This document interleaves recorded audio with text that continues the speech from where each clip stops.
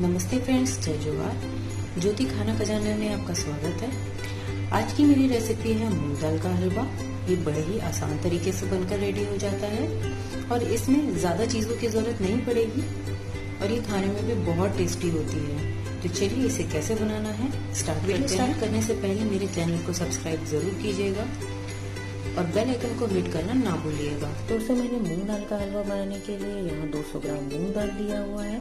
200 ग्राम मूंग दाल के लिए मैंने यहाँ 100 ग्राम चीनी ले ली है। जिस कटोरी में मैंने ये मूंग दाल मेजर किया है, उसी कटोरी में मैंने एक कटोरी दूध ले लिया है। दो चम्मच शुद्ध देसी घी, ये नाश्ते वाली चम्मच है, और दो से तीन इलायची। चलिए इसे कैसे बनाना है स्टार्ट करते हैं। सबसे पहले हमें ये मूंग की दाल को दो से तीन घंटे भिगो कर रखना है। तीन घंटे बाद आप देख सकते हैं कि हमारी जो दाल है वो अच्छी तरीके से भीग गई है और इसके जो छिलके हैं वो भी अलग निकल गए हैं। तो हमें इन छिलकों को अच्छी तरीके से साफ़ कर देना है। देखिए, मैंने इसे अच्छी तरीके से धो लिया है, जो थोड़े बहुत छिलके जो रह गए हैं, ये मिक्सर ग्राइंडर में अच्छी तरीके से पिस जाएँगे। तो चलिए, हम इसका एक थिक पेस्ट बनाते हैं। दोस्तों, हमने ये जो पेस्ट बनाया है, ये बहुत ज़्यादा चिकना नहीं करना है हमें। हमें कुछ इस तरीके का पेस्ट चाहिए होगा। और हमने इसे पीसने के लिए बिल्कुल भी पानी यूज़ नहीं किया है।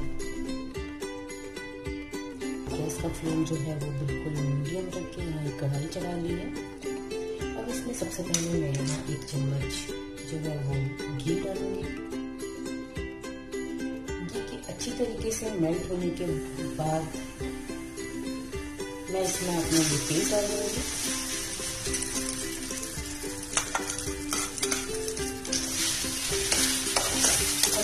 दूँगी अच्छी तरीके से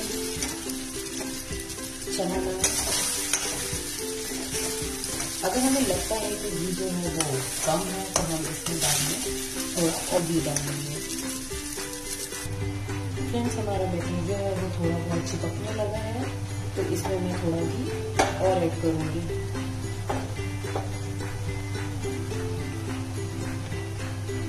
मैंने यहाँ एक चम्मच घी और ऐड किया है।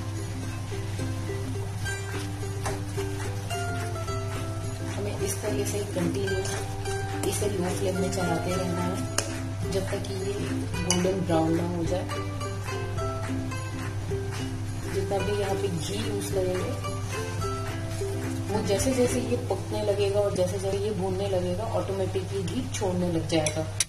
इसे हम पाँच से दस मिनट और अच्छी तरीके से भूनेंगे जब तक ये गोल्डन ब्राउन ना हो जाए। जैसा कि आप देख सकते हैं, ये जो हलवा है, ये जो दाल है, ये बिल्कुल अच्छी तरीके से गोल्डन ब्राउन हो चुका है। अब मैं इसमें बाकी की चीज़ें भी ऐड कर दूँगी। मैं ऐड कर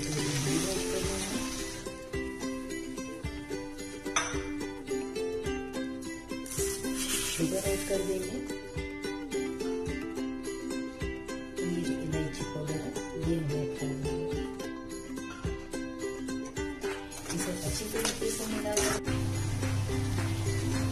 मुझे इसे भूनते हुए करीबन आधा घंटा हो गया है। ये आधे घंटे में अच्छी तरीके से बनकर रेडी हो जाता है। यहाँ मैंने जो दूध डाला था, वो भी अच्छी तरीके से सूख गया है। फ्रेंड्स मैं आप लोगों को चार नोट करना चाहूँगी। मैंने यहाँ जैसे ही वो दाल डाला था तो वो चिपकने लगा था, और जैसे जैसे ये भूनते गया, वो ऑटोमेटिक तेल से छूटने लगा। अगर आप ये नहीं चाहते हो तो आप नॉन स्टिक पैन भी यूज़ कर सकते हैं। दूसरी चीज़ कि मैंने स्टार्टिंग में केवल दो चम्मच ही घी यूज़ किया था, पर इसे कंप्लीट बनाने में मैंने यहाँ पे चार चम्मच घी यूज़ किया है। तीसरी चीज़, मैं ये हलवा तीन लोगों के लिए बना रही हूँ। अगर आप ज़्यादा लोगों के लिए बना रहे हो तो आप क्वांटिटी डबल या ट्रिपल कर सकते हैं। चौथी चीज़, यहाँ मैंने केवल 100 ग्राम शुगर ऐड किया था। अगर आप मीठा ज़्यादा पसंद करते हो तो आप शुगर इसमें और ऐड कर सकते हैं। देखो फ्रेंड्स ये बनकर बिल्कुल रेडी हो चुका है। इसमें बहुत अच्छी सी खुशबू आ रही है। आप स्मेल तो नहीं कर सकते हैं। ये बनकर बिल्कुल अच्छी तरीके से रेडी है। चलिए अब इसे सर्व कर लेते हैं। दोस्तों, ये मूंग का जो है, ये बिल्कुल रेडी है। ये खाने में बहुत ज़्यादा टेस्टी है। आप एक बार ये ज़रूर ट्राई कीजिएगा और कमेंट सेक्शन में बताइएगा कि आपको ये कैसा लगा। और मेरी इस रेसिपी को लाइक और शेयर ज़रूर कीजिएगा।